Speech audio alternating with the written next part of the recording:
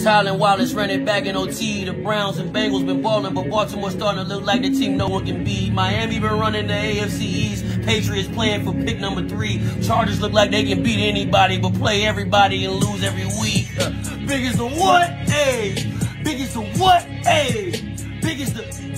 Let me tell you who won't be in Super Bowl. Arizona, Carolina, every team in New York, including Buffalo. Man, the Bills couldn't beat the Buffaloes, but they found a way to beat Pat Mahomes. Baker Mayfield led the Bucs to a win with 34 seconds and got out Atlanta. Lions been playing like winning is on their wish list, and they still ain't went to see Santa. 49ers out here going bananas. All they receivers had up their antennas. Is that number 13 and number 16? Cause Purdy been looking like Joey Montana.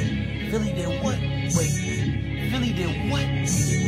Dallas, man, Dallas might go to the Super Bowl. They found a soccer player, Hubanaya, kicking 59-yard field goals. Dak Prescott stood on 10 toes. Here, here, Prize Picks had Jalen Hurts throwing 253. I took less, but I went for more with Dak, and he threw on the 303 G-O-D. The Broncos started to look like a team. Patty went off on all the referees. I'm dropping bars like drinks on me. I had to go crazy for week 13.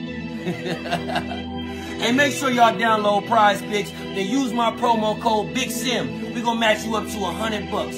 Big picks, big win, big payout. Let's go. I'm about to pick out on these.